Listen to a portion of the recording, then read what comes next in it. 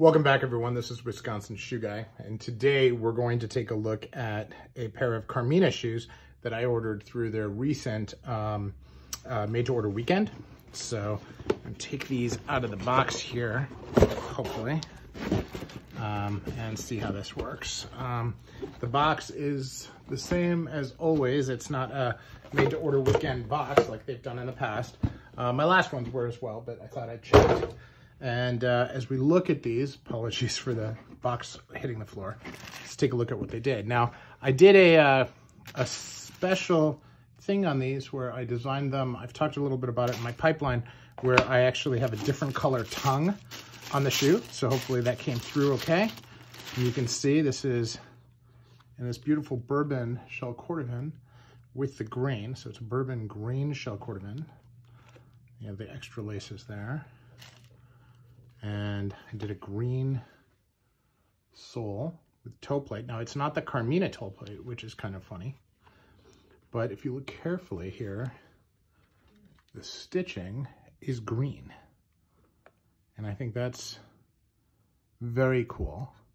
Now the stitching on the sole is not green, but the stitching on the upper is all green. It's very subtle, mostly kind of for me, right? Uh, and people have talked to me about, you know, oh, wow, you're going to cover that up as soon as you add polish. This is shell cordovan, so I don't polish it.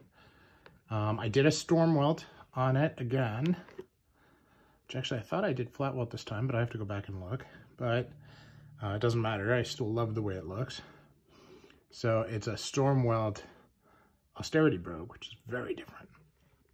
And a new piece to my Carmina collection. So again, the green sole.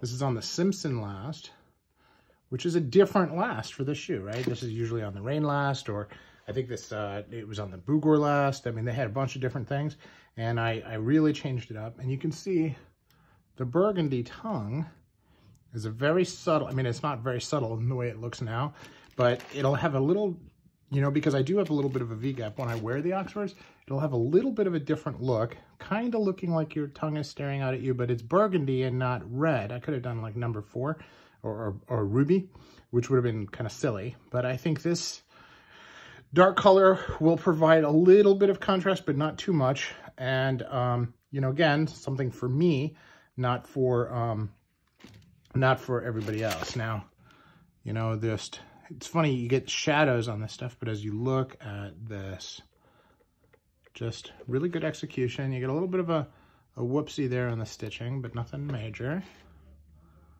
Um, here again, um, like the pinking is a little bit different. Not bad. I'm trying to be as critical as I can be, uh, most of the stuff is stuff that I wouldn't care about, but I know some guys do. Um, here it looks like something like when it was shipping touched here, so there's a little bit there, but that'll all wear out first time I wear them anyway. Uh, you look at the joint here.